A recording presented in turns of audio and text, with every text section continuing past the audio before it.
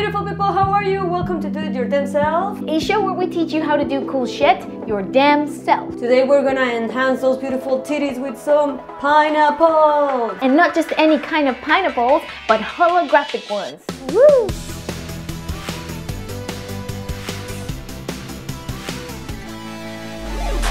So glitter used to be my favorite color, but now it's holographic. It, that color is next color.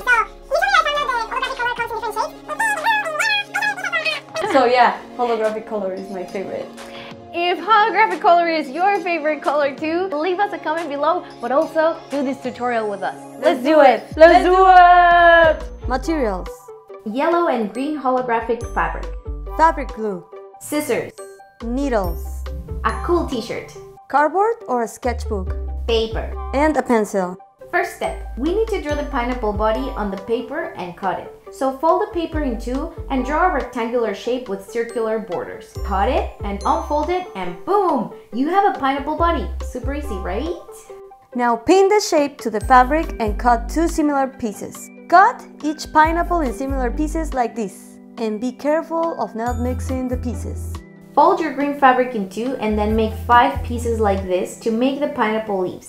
Since you fold it in two, you'll get 10 pieces in total. Place the t-shirt in the cardboard or sketchbook so it doesn't move. And place your design on top.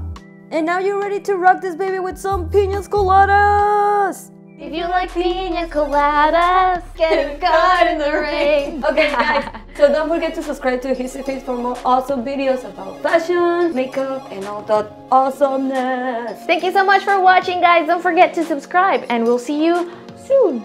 Bye. Bye!